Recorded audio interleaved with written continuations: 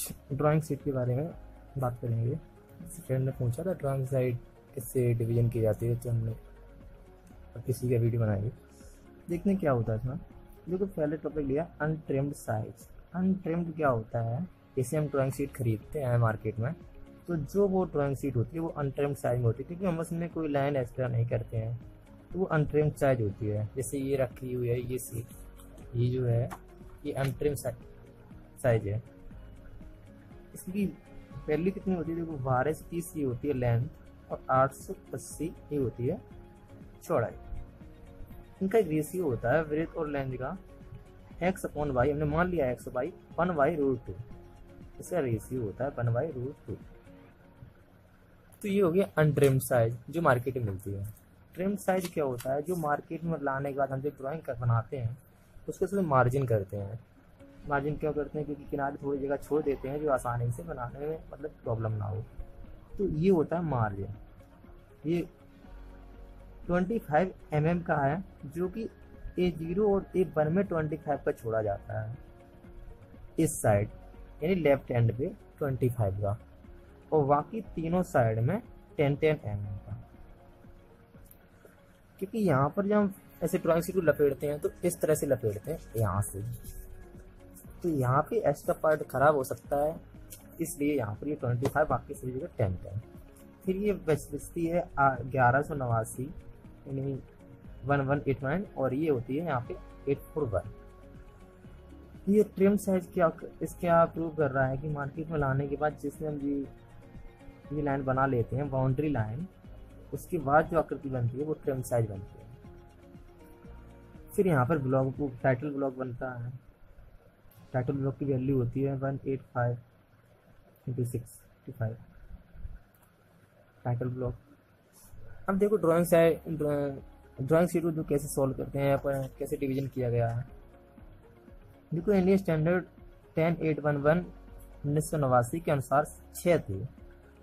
ये छः नोट हैं। मैं इसे बना बता, बताते जा रहा हूँ कैसे बनेगा अभी। फिर क्या हुआ? S P forty six two double zero three के अनुसार पाँच फिर ये एक लास्ट वाली हटा दी गई है। तो एक यहाँ पर का एक फाइव इस तरह से एक ट्वेल्व तक है। लेकिन जो मोस्टली हैं, इस एस पी के अनुसार अब पाँच बची हैं, जो अभी स्टैंडर्ड हैं। तो अभी बता रहे कैसे ये सॉल्व क्या होगा? देखते हैं यहाँ पर।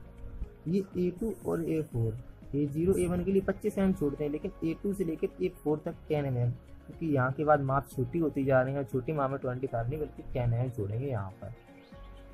अब देखते हैं इसको सॉल्व कैसे करते हैं। देखिए कैसे सॉल्व करते हैं। देखो पहले इसमें समझ लेते हैं। जैसे हमने बन लिया है कि ए ज़ीरो पर। अंत जो मार्केट में खरीदते हैं एट एट ज़ीरो इंटू बारह इंटू तीस ये वाली, जो हम लोग खरीदते हैं ए ज़ीरो साइज़ की होती है। उसके बाद क्या दूसरे नंबर ए वन की, जो ये वैल्यू रखेंगे इस तरह सही वैल्यू रखेंगे, लेकिन हम समझाते हैं जो सॉल्व कैसे करते हैं। देखो, मान लेते हैं। हमने मान लिया यार ये।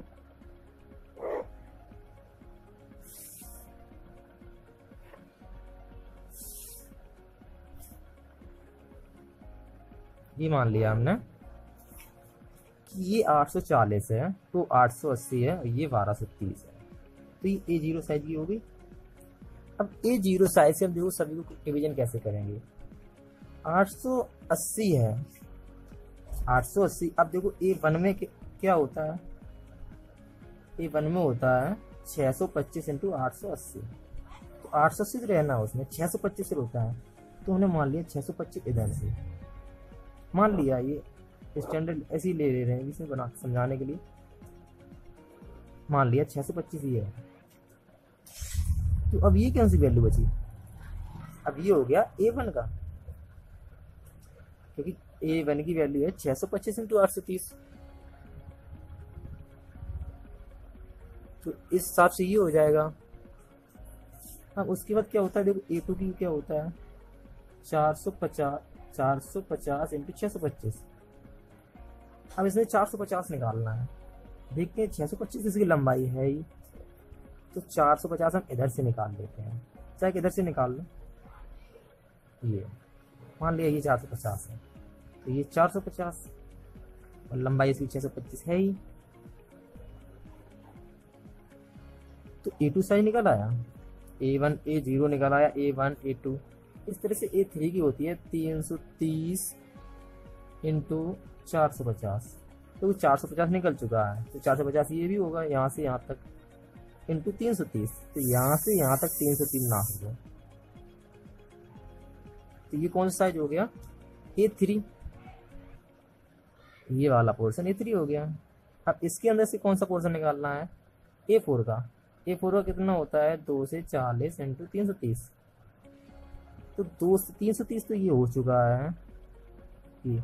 अब यहाँ से दो से चालीस, इधर माप लो। इधर। तो ए फोर का पोर्शन निकल आया।